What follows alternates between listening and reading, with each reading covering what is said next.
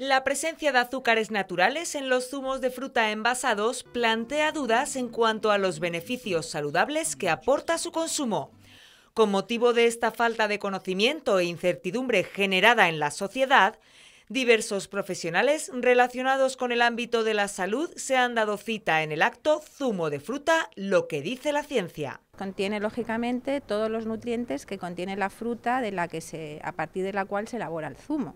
Por lo tanto, en general, pues es rica en potasio, en provitamina A, que son los carotenos, en ácido fólico, en vitamina C. La doctora Marcela González Gross también aclaró lo que establece la normativa europea vigente. Lo que podemos etiquetar como zumo de frutas es la fruta exprimida, que se envasa y a la que no se le puede añadir ni, azúcar ni ningún otro aditivo ni conservante. Los datos científicos demuestran que el consumo de fruta tiene un efecto neutro o beneficioso sobre el peso corporal y el control de la glucosa. Se pueden comer entre comidas y, entre, y con las comidas también.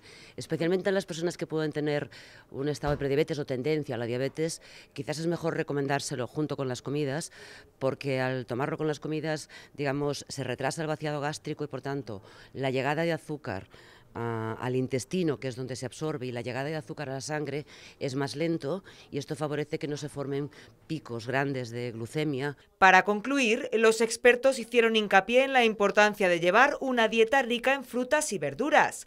Una recomendación que admite que una de las cinco raciones diarias pueda ser un vaso de zumo de fruta envasado.